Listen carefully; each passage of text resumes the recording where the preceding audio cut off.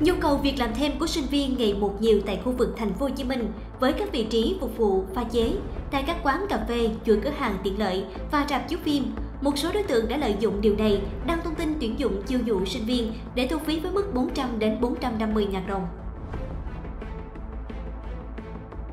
Cách lừa đảo theo đó, các đối tượng lừa đảo sẽ đăng tin tuyển dụng giả danh các nhãn hàng có tên tuổi như Baso, CGV, tuyển vị trí phục vụ pha chế. Các sinh viên cần việc làm thêm đọc được những thông báo này liền dính bẫy và gọi đến số điện thoại được thông tin. Sau khi gọi vào số điện thoại, gặp được đối tượng tự xưng là quản lý, các sinh viên tìm việc làm sẽ được gọi đến địa điểm 523 Trần Văn Dầu, phường Tân Tạo, quận Bình Tân, được cho là văn phòng của các đối tượng này. Sau đó, sinh viên sẽ được phỏng vấn với các thông tin như đến từ trường nào, kinh nghiệm làm việc ra sao. Sau đó, người phỏng vấn sẽ buộc sinh viên đóng 400.000 đồng tiền đồng phục và về nhà chờ quán gọi đến thư viện. Khi sinh viên về nhà chờ để được gọi đi làm thì không nhận được thông tin gì, sau đó mới gọi lại cho phía quản lý. Các đại diện bên công ty lừa đảo này sẽ trả lời lấp lém rằng sẽ tìm chỗ làm khác cho sinh viên. Thế nhưng khi tìm hiểu ra mới biết đây là công ty chuyên đi lừa đảo.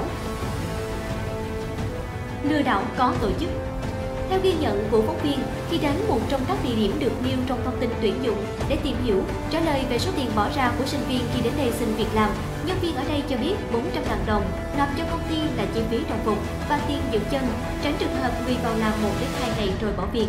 Người này cam kết sau khi đi làm số tiền 400 ngàn này sẽ được trả dần sau 2 tháng, mỗi tháng là 200 ngàn đồng. Công ty cam kết xuất hóa đơn làm giấy tờ nhận tiền hẳn thôi, không lo đâu. Tuy nhiên trả lời báo chí đại diện của Basso cho biết đơn vị này không liên kết với những công ty hay tổ chức nào ở những địa điểm 135 37 80 Cảnh, quận Bình Thạnh, 97 Nguyễn Thế Sơn, quận Gò Vấp và 523 Trần Văn Dào, quận Bình Tân. Việc các ứng viên đến các để hỏi về công việc được hứa hẹn được đơn vị này xem là vấn đề nghiêm trọng. Đơn vị này đang hoàn tất hồ sơ gửi cơ quan chức năng để vào cuộc, làm rõ việc các đối tượng mượn danh doanh nghiệp tuyển dụng ảo nhằm thu tiền ứng viên.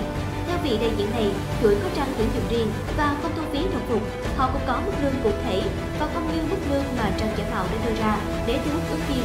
Đại diện CGV cũng xác nhận đây là vấn đề khiến đơn vị đau đầu và đang tìm hướng để xử lý, tránh xảy ra tình trạng các cá nhân, đơn vị mượn danh CGV để lừa đảo sinh viên.